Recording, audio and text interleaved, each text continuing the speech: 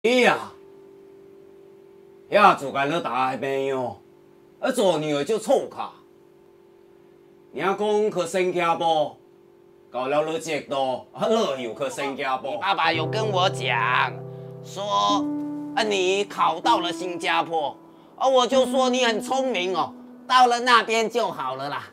时间过得很快哦，你这样去有二十年了哈。对我走之前你还说以后一定要回来，不可以叛国。光阴似箭，日月如梭啊，二来二十有一年矣。啊，这是孔明的《出师表》，你有没有读过啊？有啊，这样你跟他讲话是讲 English 的哈，华人没有学华语的哈，为什么你听不懂潮州话啊？长大以后，为了理想而努力，渐渐的忽略了父亲、母亲和故乡的消息。四四五十年哦，我下度归老我着，啊别人讲爱老人哦，你做哪？再走，我当你真是得罪了好罪人！我做哪？贵客还是外配老了。那阿公被抓起来，跟他去新加坡有关吗？应该没有关系，主要还是因为党内斗争，那时候很混乱的嘛。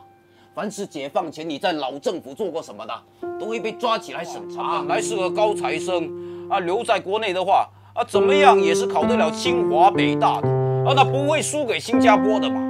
结果去那边变声是去演戏，这就没有用了嘛。在中国的那些天呢？达成的情绪呢，一天比一天差。每天总有一段时间偷偷躲在角落里发短信或者打电话。他爸爸躺在医院里，癌症末期，医生说最多三个月。过去还是做海医过去啊？人可以现在可以回来，我也无咩奢侈来希望。只是希望恁妹妹生个囡仔，害我欢喜好咩？天长了，烟